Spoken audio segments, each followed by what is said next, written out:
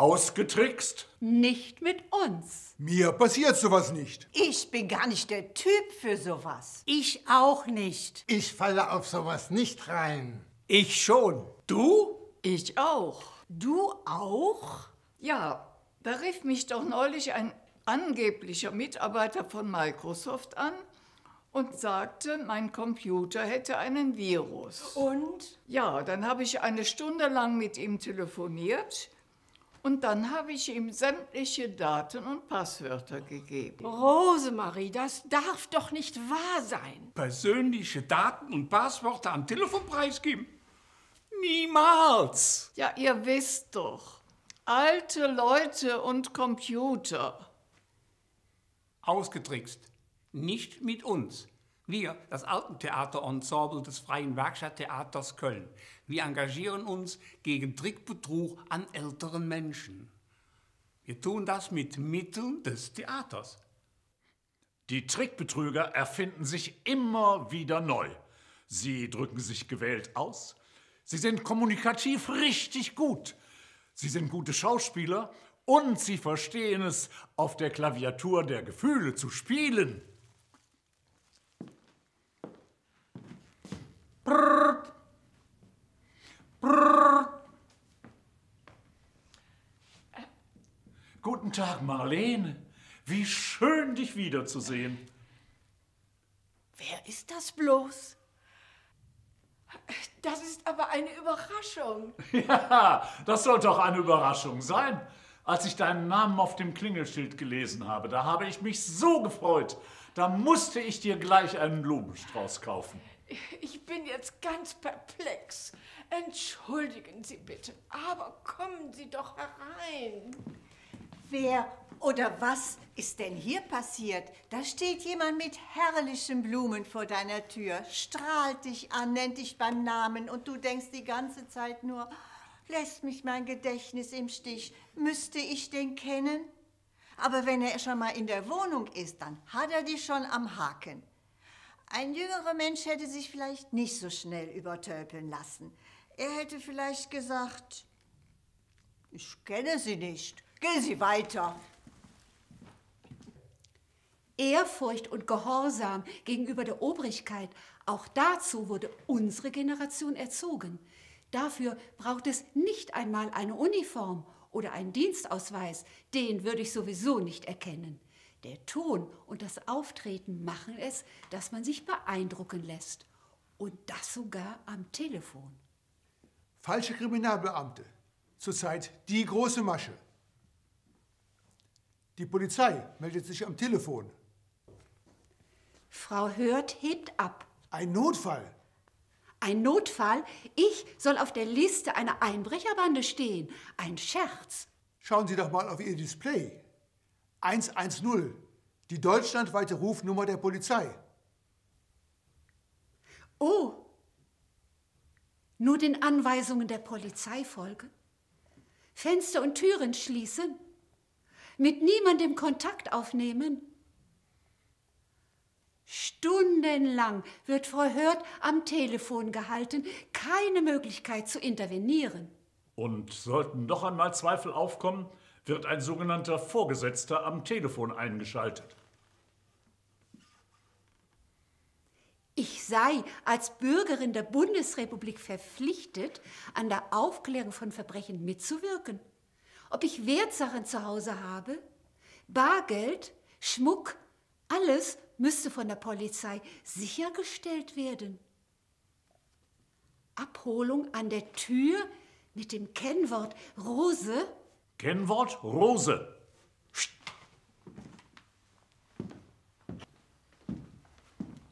Kennwort Rose. 110 im Display des Telefons, mit oder ohne Vorwahl. Garantiert nicht die Polizei. Und Wertsachen von der Polizei sicherstellen lassen? Ha, ein schlechter Witz.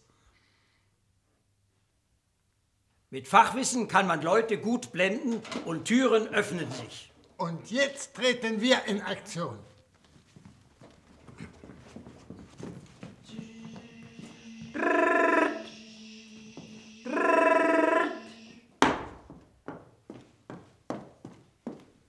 Sie wünschen?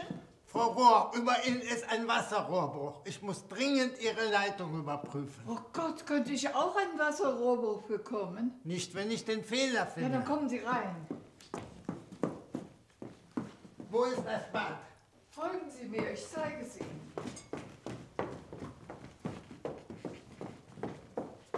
Hier, Frau Rohr, ich brauche Sie. Öffnen in der Badewanne den Kaltwasserhahn. Ah, bei Ihnen läuft also das Wasser. ja. Jetzt drehen Sie mal mehr und mal weniger auf. Ich schaue im Flur nach, wo Ihre Leitung verläuft.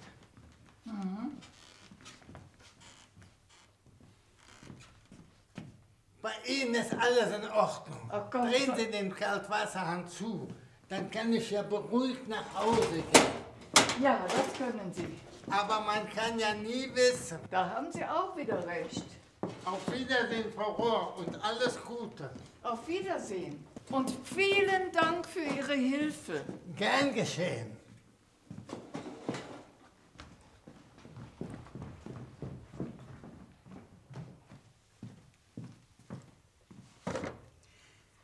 Ein paar Tage zuvor passiert der Nachbarin darüber, die doch angeblich gerade den Wasserrohrbruch hat, Folgendes.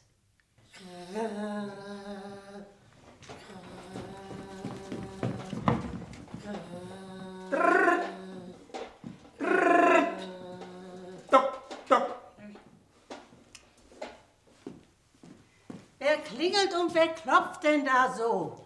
Frau Engel, über Ihnen ist ein Wasserrohrbruch. Ich muss dringend Ihre Leitung überprüfen. Ein Wasserrohrbruch, da weiß ich aber nichts von. Wo denn? Bei Walter. Es eilt. Unter Umständen muss schnell gehandelt werden. Nicht so quirlig, junger Mann. Ich rufe erst an. Wie Sie meinen. Aber ich bin nun schon mal hier und möchte Ihnen helfen. Ich rufe erst an.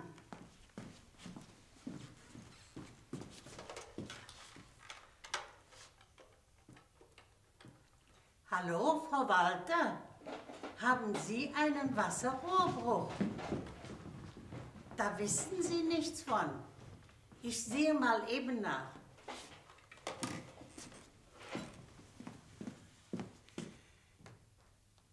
Da ist ja keiner mehr. Also, dann war das doch derselbe oder dieselben? Hätte ich doch die Hausverwaltung angerufen oder die Mitbewohner informiert. Warum lasse ich mich nur so unter Druck setzen? Jetzt hilft nur noch 110.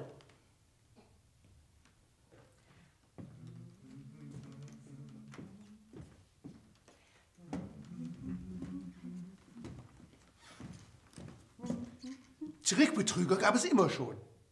Jetzt sind sie auf den Zug der Corona-Pandemie aufgesprungen. Kein Wunder. In diesen eh schon schwierigen Zeiten haben Sie leichtes Spiel und finden viele Gelegenheiten. Stichwort Kooperation einfordern.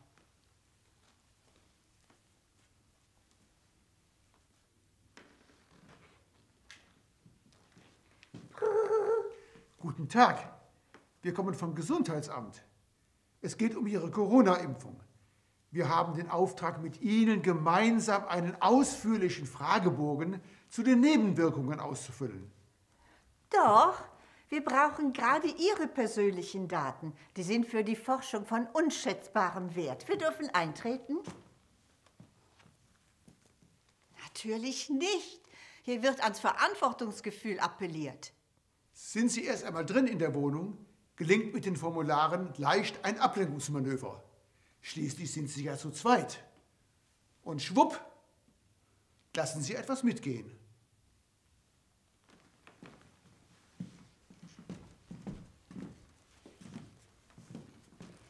Im Wirrwarr der ständig neuen Informationen lassen sich Ängste schüren. Stichwort Scheinsicherheit anbieten.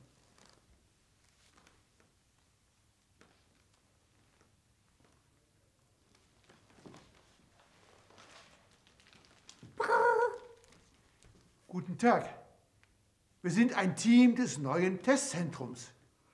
Ab sofort werden ältere Menschen in ihrem Zuhause getestet. Na, das hört sich ja zuerst mal gut an. Kann man? Muss man das annehmen? Natürlich nicht. Denn auch Sie wollen nichts anderes als rein in die Wohnung.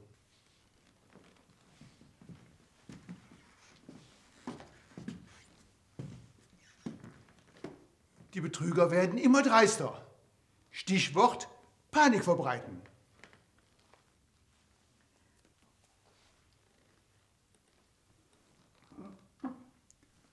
Pring. Guten Tag. Sie sind bestimmt erstaunt über unseren Besuch. Leider, leider, die Pandemie wird immer dramatischer. Sie haben doch bestimmt Geld im Haus. Wir müssen Ihre gesamte Barschaft desinfizieren. Was für eine absurde Idee. Aber alles schon vorgekommen. Hausbesuche von Mitarbeitern des Gesundheitsamts oder vom Testzentrum? Impfärzte an der Tür? Niemals. Und wenn Sie einen Anruf bekommen, ein naher Verwandter oder Freund hätte sich mit dem Coronavirus infiziert und bräuchte dringend eine Summe Geld für ein neues Medikament, einfach auflegen und 110 anrufen.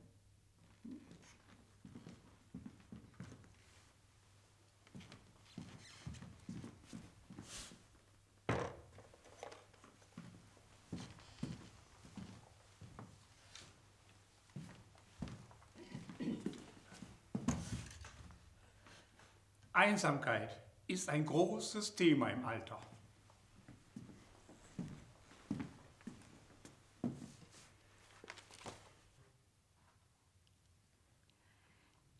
Was Harald nur den ganzen Tag macht. Warum ruft er nicht an? Wir haben uns doch immer so gut verstanden. Einsamkeit hat viele Namen, viele Namen und nur ein Gesicht.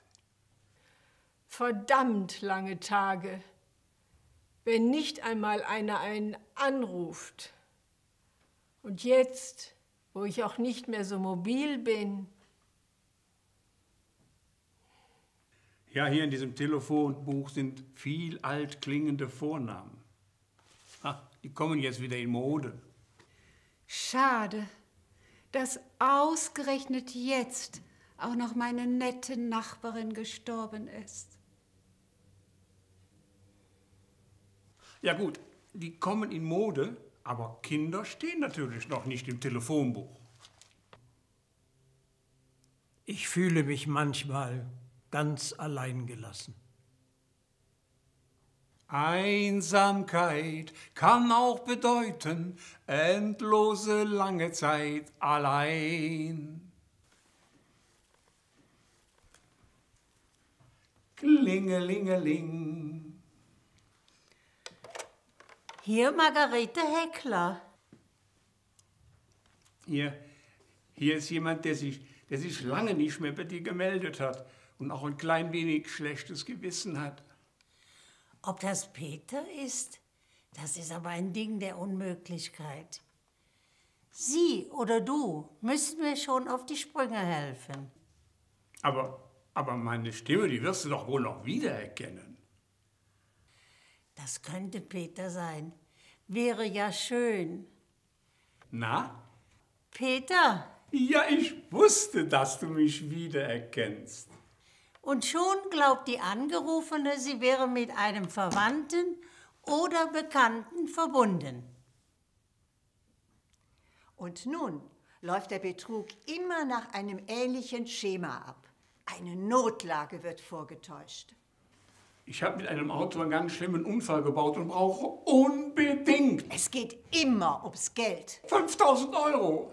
Zeitdruck wird aufgebaut. Bis heute Abend. Panik geschürt, Ach, sonst geht's mir an den Kragen. damit keiner dazwischen kommt, ehe es zur Geldübergabe kommt. Bitte sag es keinem weiter. Denn ich, ich bin die Einzige, die helfen kann.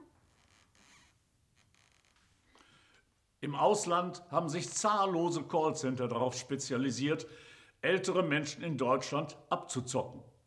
Und mit den heutigen technischen Möglichkeiten können Sie den Angerufenen sogar deutsche Telefonnummern vortäuschen.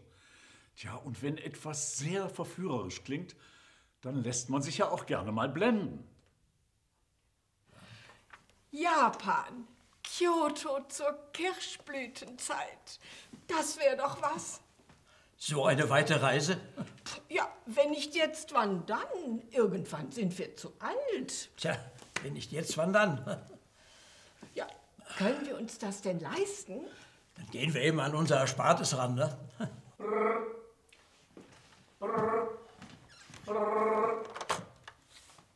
Ja.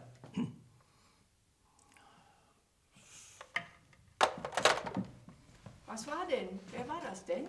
Eine Frau von einer Gewinnzentrale. Wir sollen ein Auto gewonnen haben. Wir?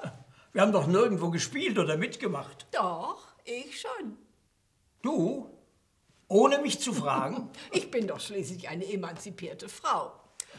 Aber im Ernst, das ist schon so lange her, das kann ich überhaupt nicht mehr rekonstruieren. Vergessen wir es. Da ruft sowieso niemand mehr an. Aber äh, es könnte ja trotzdem was dran sein. Man muss ja auch mal Glück haben im Leben.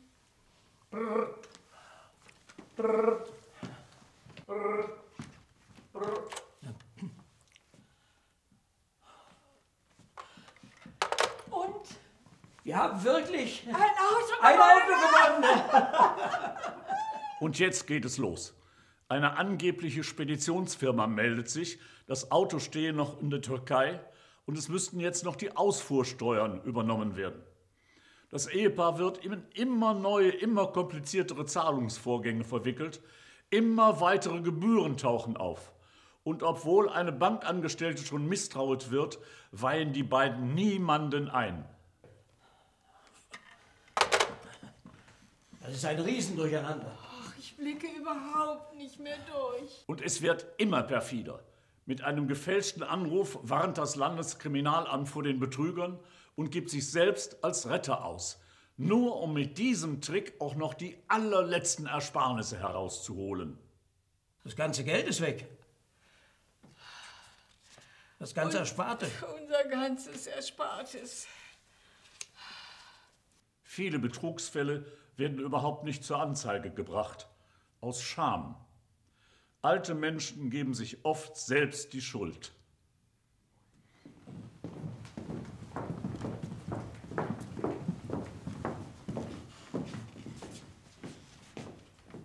Ausgetrickst. Nicht mit uns. Alt und hilflos? Nein. Und wenn einem was komisch vorkommt, sich nicht unter Druck setzen lassen. Halt! Erst mal nachfragen und miteinander reden. Sich auf keinen Fall in die Enge treiben lassen. Und wenn was passiert ist, Anzeige erstatten.